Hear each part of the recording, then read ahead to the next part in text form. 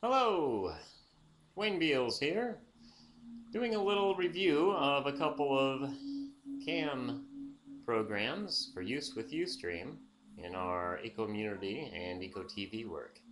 Now, the one I have here, I had hoped to bring you the trial version, I mean the, the free version, uh, everything we're trying to build um, at the community level is free and open source.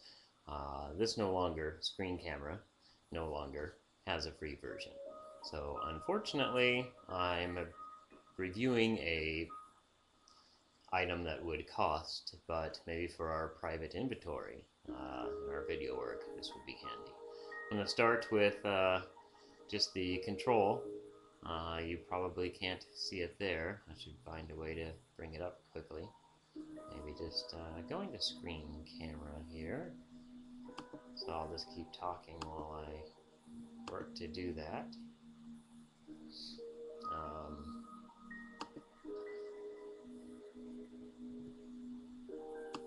well, that proved harder to do than I had thought uh, originally.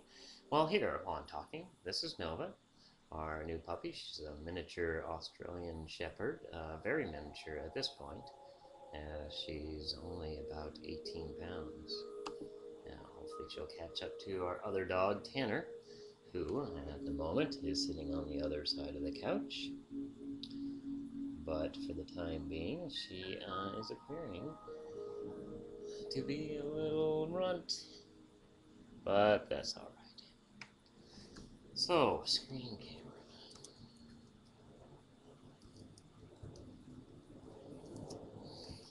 Now, I'm hoping just to give you a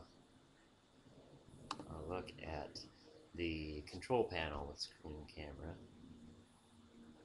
Uh, some screenshots here.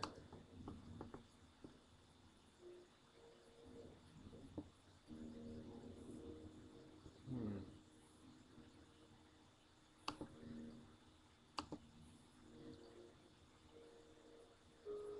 No, oh, a screen camera.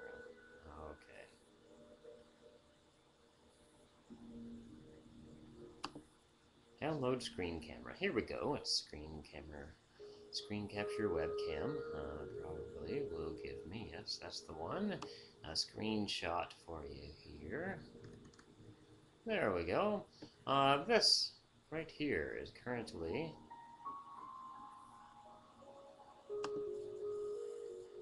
the console that I'm using.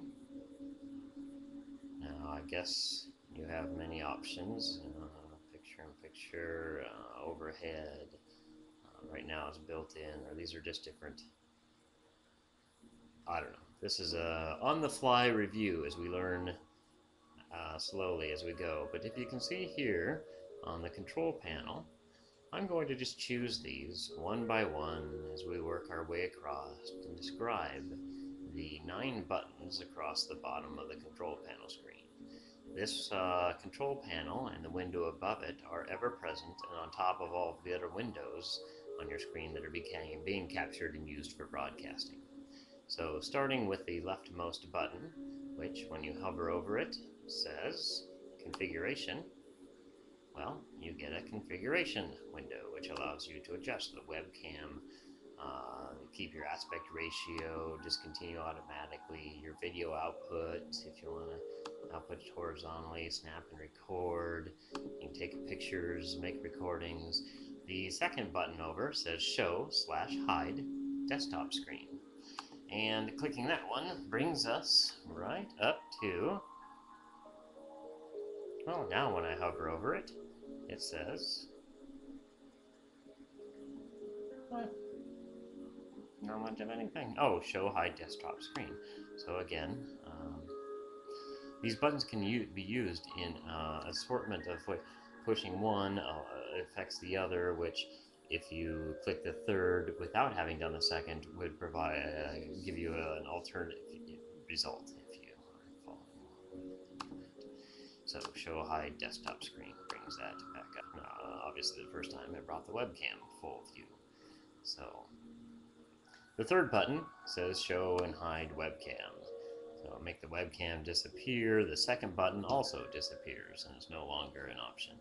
So the webcam is not visible. I've still, from earlier, selected to show the immediate area around the mouse, and that's what you're seeing now as I cruise around the desktop surface.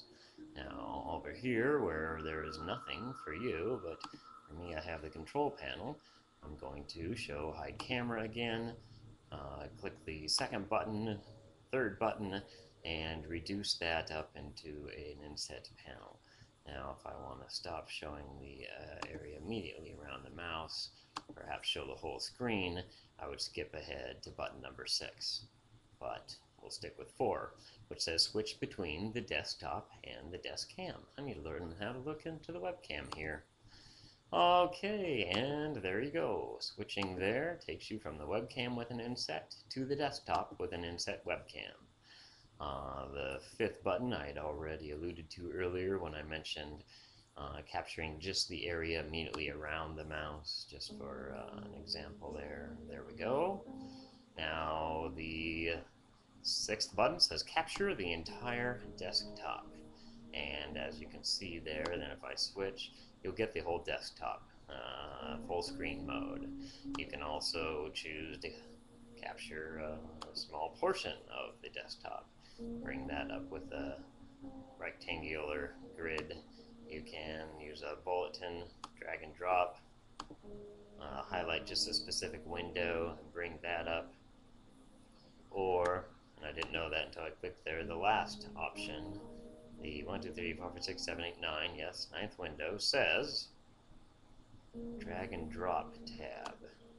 So I don't know what, I was able to move that window around somehow. Okay, and there's actually, I guess, a 10th button that comes into view there at the very end. It says capture. I'll now capture this file. I've saved it. There it is. When I show you my full desktop. Um, we're reviewing it. Increase it for you. And let's just go back to the screen cam in. And I hit the fourth button. Switch it whole with the inset desktop. Go to the small mouse cursor button and explain the buttons as I work my way through the next tutorial. Oh, tutorial. Um, hmm. Time to edit this one. Hope you enjoyed it. Oh gosh, how do I stop this thing? Quick. Oh, huh, there you go. And you were able to follow along.